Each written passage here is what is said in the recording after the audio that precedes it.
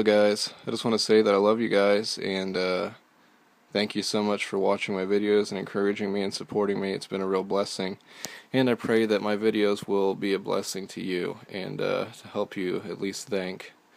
Uh, okay, so I'm going to talk some more about these end times passages and I think that the Lord's been showing me a lot and there's a lot that I want to show you. But I want to uh, say again, and I'll probably say this a lot, that Matthew, Mark, and Luke, as far as the end times passages and even Revelation, everything is not in order. And this is why people get things messed up severely, is because they're not paying attention to detail. I think that the Lord uh, points out pretty clearly uh, that uh, the way the order things should be if you just you know just study prayerfully and you just pay attention to detail. But anyway. Uh, I mean, I didn't notice this stuff a lot at first, too, though. So, uh, but I want to talk about this parable of the fig tree. Uh, okay, a lot of times when people read parables, even myself, we try to make everything uh, that the Lord said mean something. Like in the parable of the sower, you know, he tells us that the seed means this, and you know, the bird means this, or whatever. He he explains that things have meaning.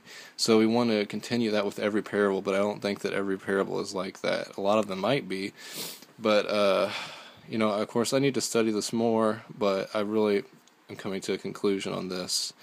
Uh, I'm not sure everyone's opinion on this parable. I think that some people think that the fig tree represents Israel, and they say that when Israel uh, comes together as a nation, that we know that the end times are close, and uh, they think that that has already happened, and I think it's really questionable whether Israel, uh, the nation that we know as Israel today is fulfilled prophecy. I mean, it could be, but uh, it's also very questionable. We can't really know, and I think a lot of people, you know, act like they know 100% sure that that's fulfilled prophecy. And I'll probably have another video on that. But anyway, uh, I don't think that that has anything to do with this. I don't think the fig tree really has to represent anything in this parable. That's not the point. Um, I do think that in Matthew, Mark, and Luke, uh, at least Matthew and Luke, they both talk about the rapture, and there's a lot of debate on that. Do they only talk about the second coming? I think they talk about both. Um, the rapture is imminent; it could happen at any time. The uh, Daniel's 70th week is imminent; it can happen at any time.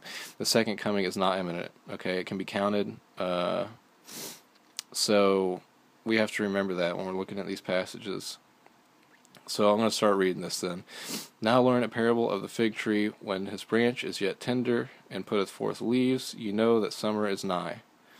So likewise ye, when ye shall see all these things, what is all these things? All these things is what he's been talking about in this whole Matthew 24 passage before this. Okay, he's talking about the whole Daniel's 70th week. He's talking about the wars, the famines, the pestilence, the uh, abomination of desolation, the the persecution, the star, the sun, the moon being darkened, and the stars falling from the sky, and all this stuff. Okay, uh, so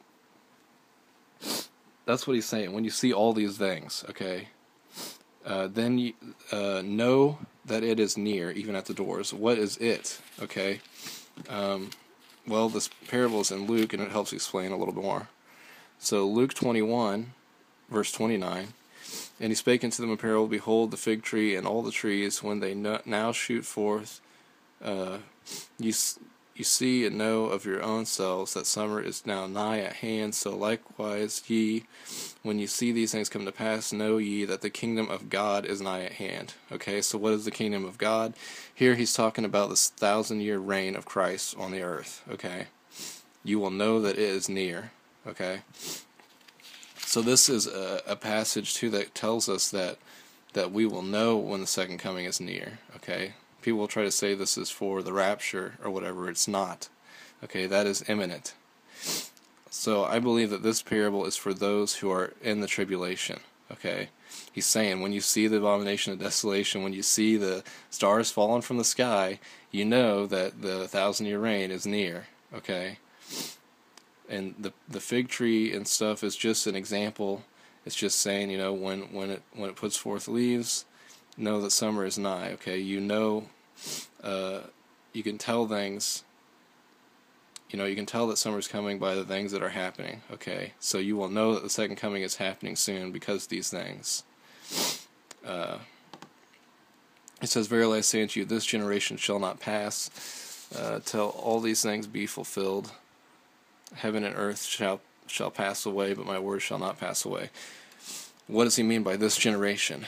I think he means by this generation um, the time uh, that Christ isn't reigning as king. So that's basically today, and it will continue through the seven year tribulation until the thousand year reign. That's all this generation. The generation without Christ reigning as king. Okay? So, the fig tree doesn't have to represent anything. It's just this idea that he's put saying, you know, you know, you can see, you can see, uh, uh, you know how to recognize things that that tell when the seasons are changing and stuff, and by by seeing all these things that I just spoke to you about, you will know that the end is near. Okay. Uh, so that's that. Thanks for watching. God bless. Except ye be converted and become as little children, ye shall not enter into the kingdom of heaven.